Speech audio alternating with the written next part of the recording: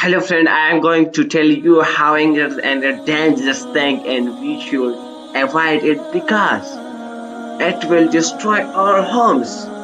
आपको आज बताने वाला हूँ कि गुस्सा कितना खतरनाक चीज़ है। और इससे हमको बचना चाहिए क्योंकि ये हमारे ग्रुप को तबाह कर देगा। घरों के अंदर तबाही मचा देगा। तो प्लीज़ मैं आपको ये आज इसके मौजू में बारे इसके बारे में बात करने वाला हूँ।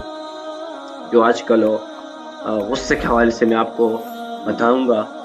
कि ये कितना ख़तरनाक चीज़ है इससे हमको क्यों बचना चाहिए?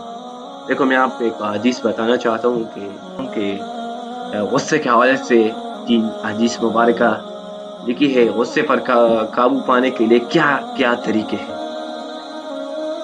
गुस्से पर नीज शरीयत के मुताबिक किस मकाम पर गुस्सा करना है ये क्वेश्चन मैं आपको इसका आंसर देना चाहता हूँ। ठीक है गुस्से से मुतलिक तीन हदीस मुबारक है। देखो हज़रत अबू हुरैरा से हिदायत रिवायत है कि हजूर सल्लल्लाहु अलैहि वसल्लम ने फरमाया, जो शख्स बहादुर बहादुर वो शख्स नहीं, जो लोगों को पचाड़ ले। बहादुर तो वो शख्स है जो गुस्से के वक्त अपने गुस्से पे काबू पा रखे ये है बहादुर। ठीक है, बहादुर की ये खसूसियत होती है। चाहिए, जब भी गुस्सा है तो हम अपनी नफ्स को कंट्रोल अपने सेल्फ को कंट्रोल कर सकें। ये हमारे लिए एक बहुत बेनिफिशियल है। ठीक है दूसरी एक बात यह है कि हज़रत अबू से रिवायत है कि वसल्लम के पास एक शख्स आया और गरज किया कि मुझे कोई ऐसी बात बताए और ज़्यादा मत बताए ताकि मैं भूल ना जाऊँ। आप वसल्लम ने फरमाया, गुस्सा मत करो, गुस्सा मत करो, गुस्सा मत करो। तीन बार आप सल्लल्लाहु अलैहि वसल्लम ने उस आदमी को बताया। ठीक है यही कहा, तीन बार।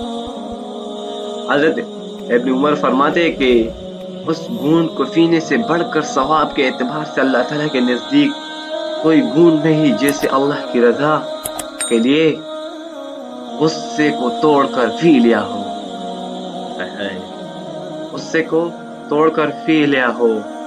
तो मेरे भाइयों, मैं आपको एक कहना चाहता हूँ कि जब भी गुस्सा हमको आया, हम अपने नफ्स का कंट्रोल कर सके और इस तो माशरे में जो नियति ये जो आती है इसी हम लोग दो तीन मिनट के सब्र से, एक दो तीन सेकंड के मुझसे गंदे अल्फाज निकालने से हमारा पूरा माशरा डिस्टर्ब हो सकता है। क्योंकि वहाँ जो बच्चे भी बैठे होते हैं वो भी सुनते हैं गाली सीखते हैं हम लोगों से। तो फिर हम लोगों को चाहिए कि अपने सबर और इस्तेकाम से आ, हम लोग फ़ायदा लें। तो हमारे लिए बहुत फ़ायदा है। बहुत फ़ायदेमंद होगा। जब वो गुस्सा है तो उसके लिए ऐसी अख्तियारी तदाबीर है जिनको हम लोग फॉलो करें। तो हमारे लिए बहुत फ़ायदा बेनिफिशियल रहेगा। ठीक है गुस्से पर काबू पाने के लिए पाने के लिए तरीके। ठीक है, नंबर एक, जब गुस्सा आए तो ताउस पढ़ना चाहिए। गुस्सा आए तो खामोश हो जाए। जब गुस्सा आए तो खामोश हो जाए। और जब गुस्सा आए तो वज़ू करना चाहिए। जब गुस्सा आए तो वज़ू करना चाहिए, उससे गुस्सा दूर होता है। ठीक है गुस्सा आग की चिंगारी है। और अगर गुस्से आए, अगर खड़ा हो तो बैठ जाए। अगर बैठा हो तो लेट जाए। ठीक है, मैं आपको कहना चाहता हूँ कि गुस्सा भी जब भी आए, हम अपने आप को कंट्रोल करना चाहिए। ये हमारे लिए बहुत बेनिफिट रहेगा। ठीक है, गुस्सा कब जायज़ है? गुस्से किसी हालत में भी जायज़ नहीं। गुस्सा जायज़ नहीं है।